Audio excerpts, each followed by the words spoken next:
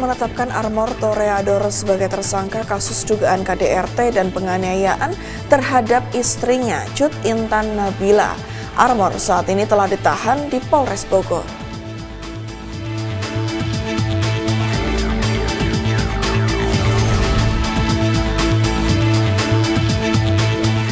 Satgas Ops Damai Kartens 2024 melakukan pengejaran terhadap KKB pelaku pembunuh pilot asal Selandia Baru dan penyisiran di distrik Alama Minika, Papua Tengah.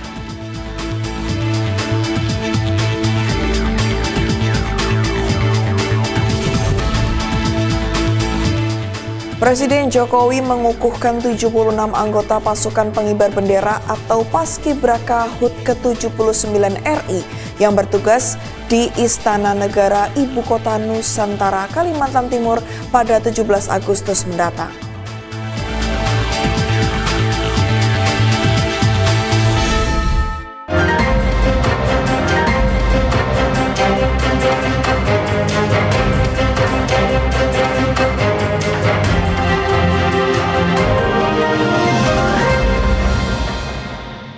Selamat sore pemirsa, Presisi Utama kembali hadir edisi Rabu 14 Agustus 2024. Selain tiga berita utama tadi selama satu jam ke depan, kami juga telah menyiapkan sejumlah informasi terkini lainnya. Bersama saya Ibda Ines, inilah Presisi Utama selengkapnya.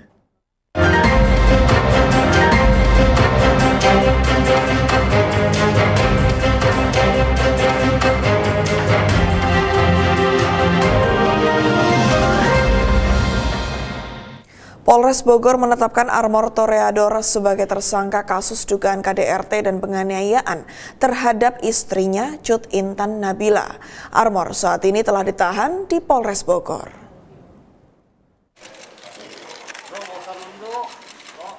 Kapolres Bogor AKBP Rio Wahyu Anggoro mengatakan penetapan tersangka dilakukan setelah penyidik melakukan pemeriksaan.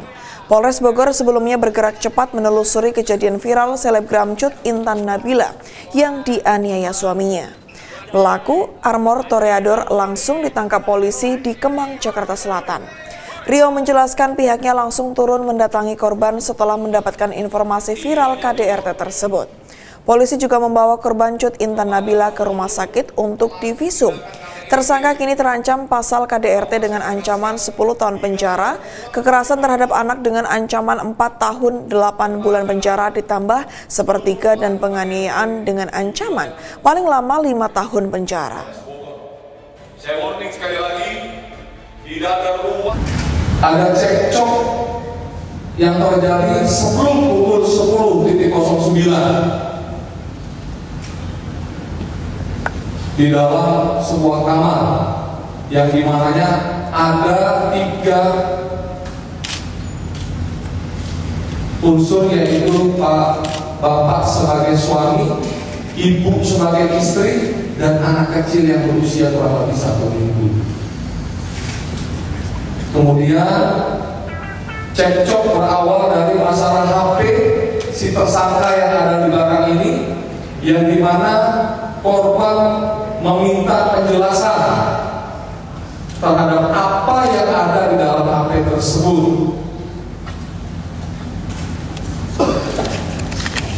HP lagi kami forensik untuk mencocokkan dengan keterangan tersangka ATG yang di belakang saya bersama ibu-ibu dari Kementerian PPN. Polisi menggerebek toko kosmetik yang diduga menjual pil koplo di daerah Muara Angke, Jakarta Utara. Dalam penggerebekan ini petugas mengamankan MZ, 28 tahun warga Aceh Utara, dan mengamankan barang bukti ribuan pil koplo berbagai jenis.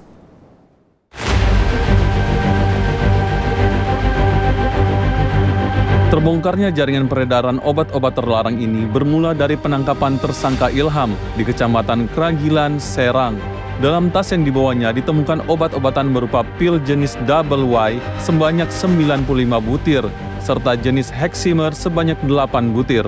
Berbekal dari pengakuan tersangka, tim unit reskrim Polsek Keragilan melakukan pengembangan peredaran obat keras di daerah Pasar Muara Angke, Jakarta Utara. Alhasil, polisi berhasil mengamankan satu pelaku asal Aceh Utara berinisial MZ beserta barang bukti ribuan obat-obat terlarang golongan G yang diduga akan diedarkan di wilayah Kabupaten Serang. Tim Reskrim Polsek Keragilan turun ke lapangan dan mendapati saudara Ilham uh, membawa sebuah tas yang berisi obat-obatan daftar G. Setelah itu langsung kita amankan ke Polsek Keragilan dan kita sidik dan kita proses uh, berkait berlanjut dari situ kita keterangan saudara Ilham kita kembangkan ke daerah Jakarta Utara sesuai dengan dasar keterangan saudara Ilham kita kembangkan ke Jakarta Utara dapatnya daerah Morangke dan kita dapatilah BB di sebuah toko yang berkedok toko kosmetik yang kedapatan menjual obat-obatan daftar G atau obat keras tanpa surat izin. Untuk mempertanggungjawabkan perbuatannya, kini pelaku terancam pasal 435 dan 436 Undang-Undang RI nomor 17 tahun 2023 tentang kesehatan dengan pidana penjara paling lama 12 tahun. Dari Humas Polda Serang melaporkan untuk Polri TV.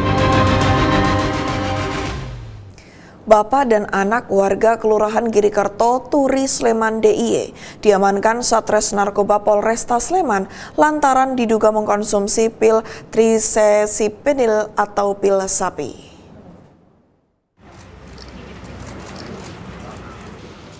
Kedua tersangka yang berprofesi sebagai driver jeep wisata di Sleman diduga mengkonsumsi pil sapi ketika sedang menyetir membawa wisatawan. Kasat Narkoba Polresta Sleman AKP Alfredo Hidayat mengatakan terungkapnya kasus itu berawal dari laporan warga, kemudian ditindaklanjuti dengan serangkaian penyelidikan dan berhasil mengamankan tiga pelaku. Tersangka mengakui mengonsumsi pil sapi untuk menambah stamina dan hingga saat ini petugas masih dalam pengembangan kasus ini dan masih memburu bandar atau pemasuk pil tersebut. Ketika pelaku kini dicerat Undang-Undang RI nomor 17 tahun 2023 tentang kesehatan dengan ancaman hukuman penjara paling lama 12 tahun.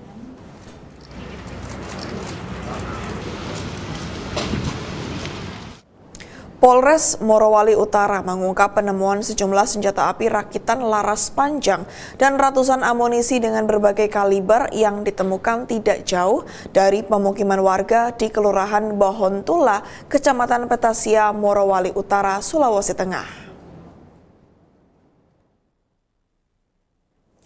Kapolres Morowali Utara AKBP Imam Wijayanto yang diwakili oleh Kepala Satuan Reserse Polres Morowali Utara AKP Arsyad Maling mengungkapkan bahwa Polres Morowali Utara telah mengamankan tiga pucuk senjata api laras panjang dan dua laras yang diduga merupakan laras senjata api yang sudah rusak. Selain itu juga diamankan ratusan amunisi dengan berbagai kaliber sebanyak 300 putir peluru yang disimpan dalam sebuah termos. Temuan senjata api rakitan bersama amunisi ini awalnya ditemukan oleh warga Kelurahan Bahontula saat berada di hutan. Warga kemudian melaporkan kepada anggota Polres Morowali Utara untuk mengamankan senjata tersebut. Saat ini petugas masih melakukan pengembangan apabila masih ada sisa-sisa senjata api rakitan yang masih belum ditemukan, serta melakukan penyelidikan asal muasal serta pemilik senjata rakitan tersebut.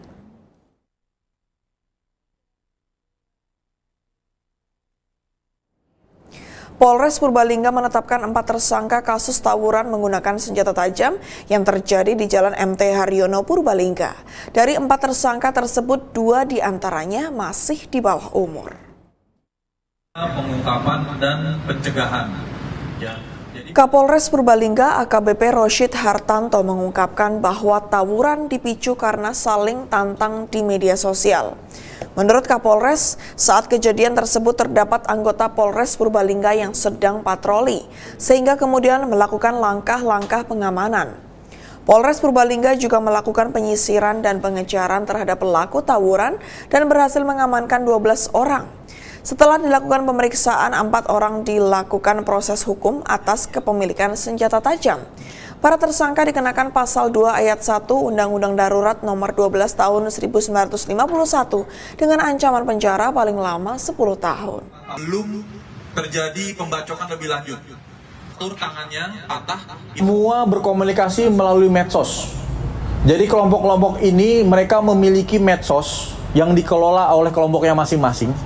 Ya, kemudian dari medsos itu ada satu orang yang muncul ini sebagai penyedia senjata. Penyedia senjatanya termasuk mengatur titik pertemuannya ada di mana. Ini orang ini. Ini akan kita uh, kejar ini. Jadi mudah-mudahan doakan saja kita bisa segera menangkap pelaku ini supaya untuk diminta pertanggungjawaban.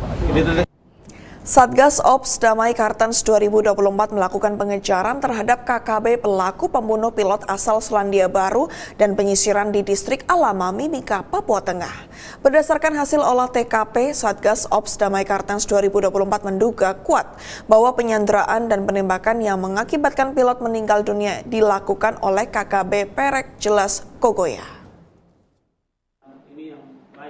Yang berikut Hal ini diperkuat dengan adanya temuan gambar-gambar senjata, gambar bendera Papua Merdeka, dan dokumen KKB lainnya.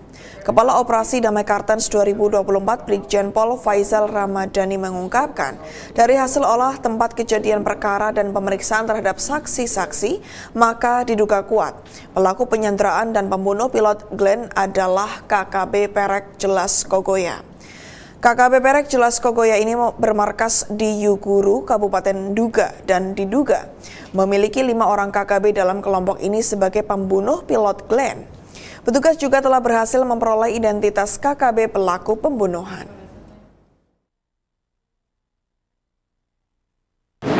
Anak buahnya Ikius Kogoya yang ada di Duga dan biasanya mereka aktif melakukan gangguan kamtipmas di wilayah Duga Terkait dengan motif, ini yang disampaikan oleh Bapak Kaop tadi pagi pada saat kunjungan dari Komnas HAM.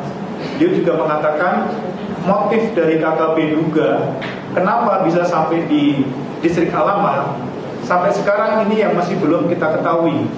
Ya, apakah ada permasalahan-permasalahan dengan proyek atau dengan penerbangan atau dengan masyarakat di distrik Alama sampai sekarang belum kita ketahui apa yang menjadi motifnya.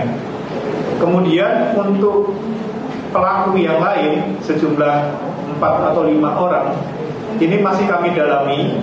Namun untuk kelompoknya Malas Bijangge kami sudah mendapatkan identitasnya.